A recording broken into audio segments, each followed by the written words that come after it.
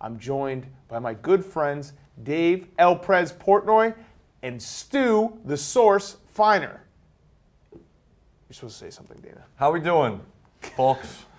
Uh, Stu, how are you doing with the baseball season? Doing pretty good. I'm up a couple grand, eating ass, licking clit. You know how it is, fellas. Oh, that's a Can't good wait call. for football. That's a good.